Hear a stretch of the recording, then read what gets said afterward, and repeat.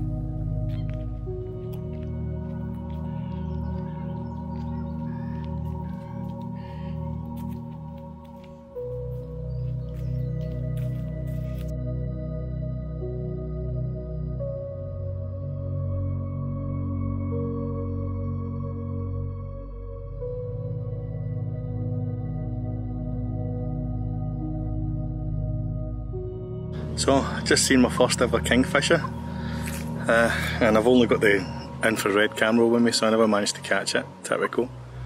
But uh, yeah, it would, it would appear there's kingfishers down at the canal at Summerlee. Well, this is beautiful. Look at this.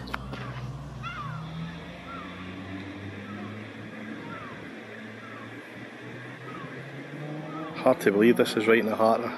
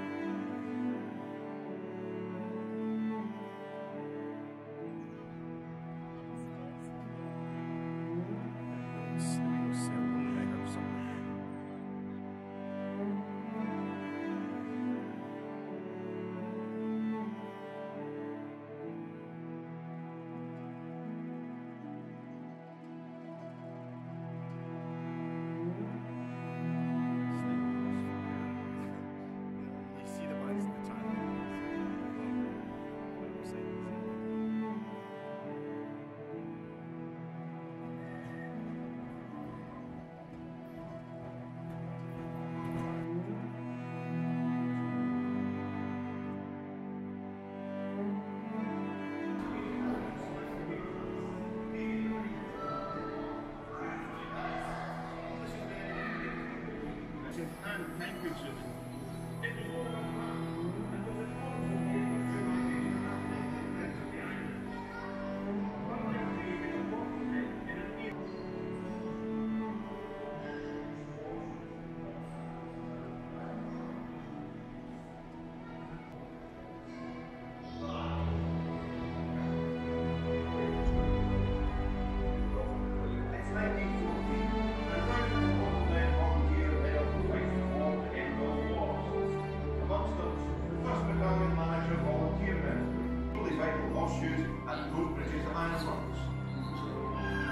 Coatbridge.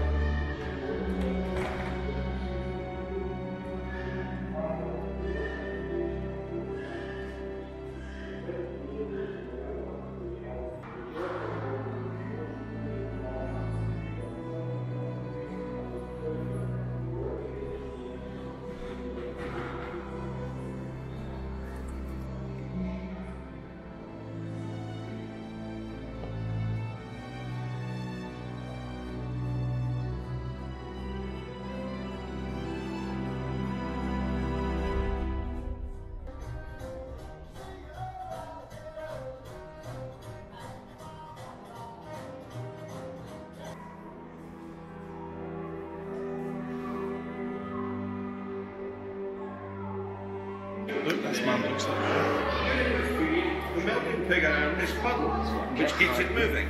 This means stirring the mixture using a long iron rod into separate That's terrifying. Give me the neck like me. What? Don't.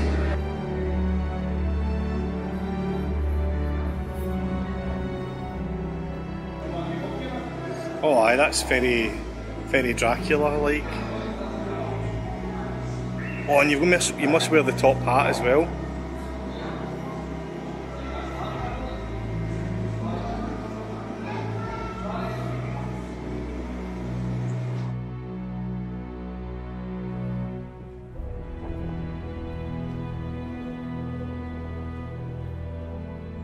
So that's us for another video. Hope you enjoyed this little trip to Summerlee and to the world of infrared photography. Uh, don't forget to give us a little thumbs up if you liked it, and if you haven't already, then subscribe. And I'll catch you in the next video. Cheers, bye.